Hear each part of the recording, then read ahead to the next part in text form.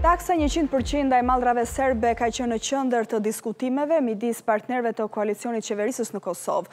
Mendime të kundërta janë shprehur mbi mënyrën e heqjes së taksës nga dy deputetët e Vetëvendosjes dhe të Lidhjes Demokratike të Kosovës, ndërkohë që deputeti i Aleancës për Ardhmërinë e Kosovës, Daut Haradinaj, i qëndron faktit se taksa nuk duhet të hiqet.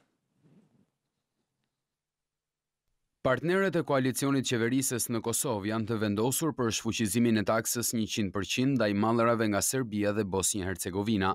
Kështu thanë deputetët Artan Abrashi i Lëvizjes Vetëvendosje dhe Arben Gashi i Lidhjes Demokratike në një diskutim me shoqërinë civile. Megjithatë, dy deputetët e koalicionit qeverisës patën dallime rreth kohës dhe formës së vendosjes së reciprocitetit.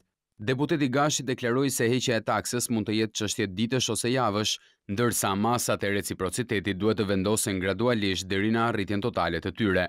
Në të gjitha aspektet e marrëdhënieve ekonomike, ndërfqinjësore, ndërkombëtare, bilaterale e multilaterale, ku Serbia nuk e njeh Kosovën, Kosova Nuk do ta njoh Serbinë.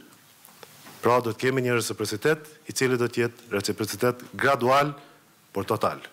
Por, partneri i koalicionit, Abrashi, tha se taksa do të hiqet vetëm pas krijimit të kushteve për vendosjen e reciprocitetit.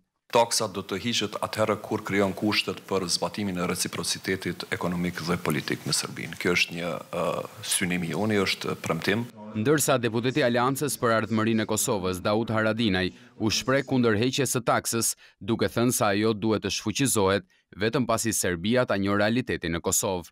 Ne do jemi hapun kundër heqjes së taksës përderisa Serbia nuk e njeh realitetin në Kosovë dhe mendojmë që heqja e taksës, hapja e tregut të Kosovës për Serbinë, është një goditje e radhës që ia japim Kosovës mas shumë vitesh.